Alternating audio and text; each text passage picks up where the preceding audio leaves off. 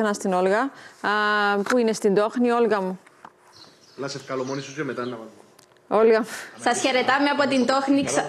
Μας ακούτε; Σας ακούμε, ναι.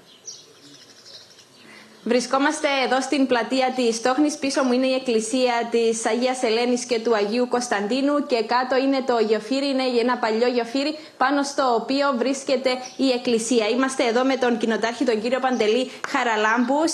Είναι η τελευταία του θητεία, όπως μας είπε, έτσι, για να γνωρίζει και ο κόσμος. Ε, να μας πείτε γιατί είναι γνωστό η, τέχνη, η Τόχνη. Εμείς τη γνωρίζουμε για την πέτρα και για τον αγροτουρισμό. Η... Πρώτα απ' όλα η Τόχνη είναι ένα από τα αρχαιότερα και γραφικότερα χωριά της Κύπρου. Ε, είμαστε πρώτοι σε αγροτουρισμό Παγκύπρια. Είναι, είναι η πρώτη κοινότητα που ασχολήθηκε με τον αγροτουρισμό. Για να έρθει εδώ κάποιος να επισκεφτεί την Τόχνη, θα δει αυτό το υπέροχο μνημείο εδώ, την εκκλησία της Αγίας Ελένης και του Αγίου Κωνσταντίνου, που είναι, θεωρώ ότι είναι το μοναδικό χτίσμα παγκόσμια εκκλησία να είναι χτισμένο πάνω σε γεφύρι.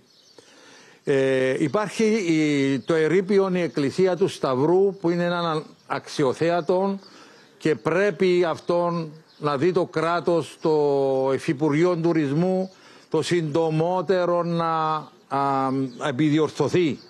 Δεν είναι κάτι το οποίο αναδείξαμε πριν. αναδείξατε πριν να μιλήσετε γι' αυτό. Εντάξει.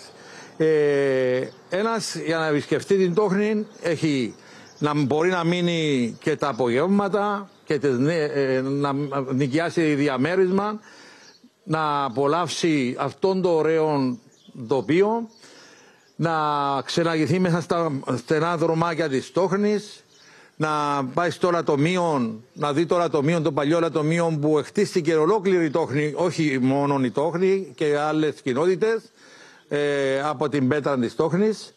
Να έχουμε το, ένα από τα καλύτερα θεωρώ κλίματα της Κύπρου ούτε η υγρασία είναι δροσιά. Και έχετε και καλές ταβέρνες που φημίζετε έχουμε, ναι, έχουμε πάρα πολλά ωραίες ταβέρνες.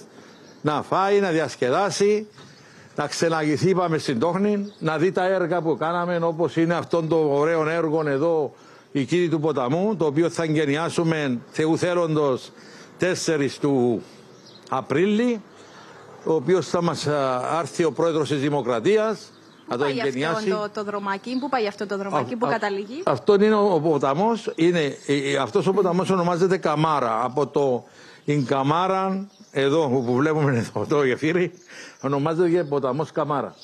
Και ε, αυτό το, το καταλήγει κάτω στο. Μέχρι, το νερό θα πάει μέχρι και τη θάλασσα.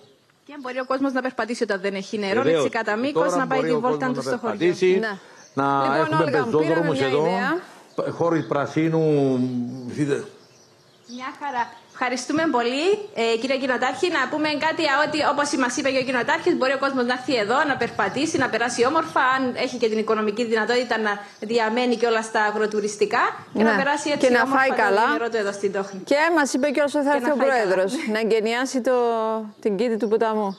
Λοιπόν, ναι, τον Απρίλη. Τον Απρίλη. Σας ευχαριστούμε πολύ. Να, μια ιδέα που μπορείτε να πάτε το Σαββατοκυριακό. Όσοι δεν θα πάτε στα χιόνια, αν μείνουν χιόνια, δύο